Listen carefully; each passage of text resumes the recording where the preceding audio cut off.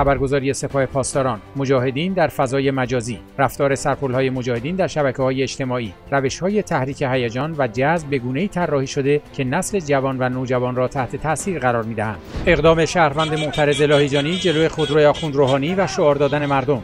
تظاهرات صدها تن از بازنشستگان فولاد اصفهان تجمع اعتراضی پرسنل بیمارستان موسوم به خمینی کرج کارگران راه آهن ایستگاه‌های مرند عجبشیر و بندرعباس و کشاورزان شادگان پاسدار قاآنی بشار اسد را سپاه قدس به تهران آورد. آنهایی که باید بدانند می‌دانستند و آنهایی که نباید نمی‌دانستند. بالاخره یک کار حساسی بود. عفو بین الملل بررسی وضعیت حقوق بشر ایران در سال 2018 و محکومیت رژیم آخوندی. کمیته چهار جانبه وزرای عرب دخالت‌های رژیم ایران را محکوم کرد.